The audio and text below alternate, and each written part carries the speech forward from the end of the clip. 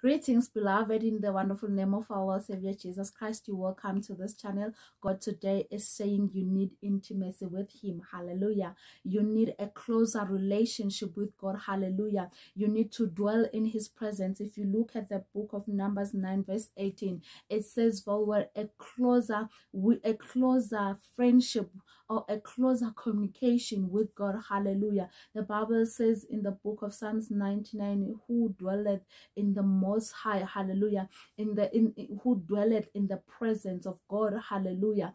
The Bible says there is a benefit, hallelujah. There is a reward, hallelujah, for being in the presence of God. Meaning, when you enter into the presence of God, you don't remain the same. When you enter into the presence of God, you don't come out empty handed, hallelujah. I don't know what you want today, I don't know what you require today, but God is saying when the praises, when the glory goes up, the blessings comes down. Now take glory to God. Be, be closer to God. Go to God. Seek God. As I was um as I was praying in the mountain, I was looking for the glory of God, and the glory of God means the blessings to me. Hallelujah.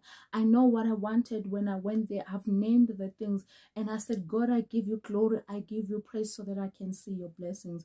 Stay blessed and continue to watch this channel in the mighty name of Jesus Christ. Amen.